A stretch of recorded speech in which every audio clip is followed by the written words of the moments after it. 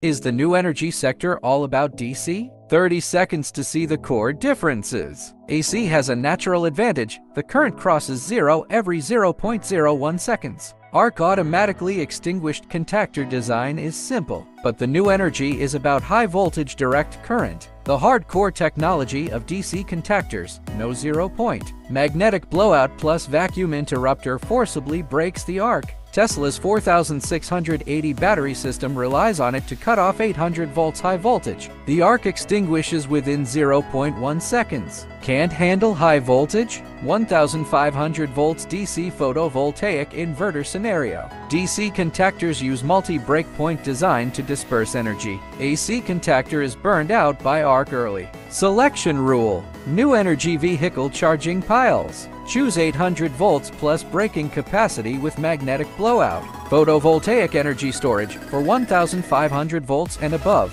Look for vacuum arc extinguishing models. New energy uses high voltage DC, and AC contactors simply can't handle it. Like and collect to avoid pitfalls in selection.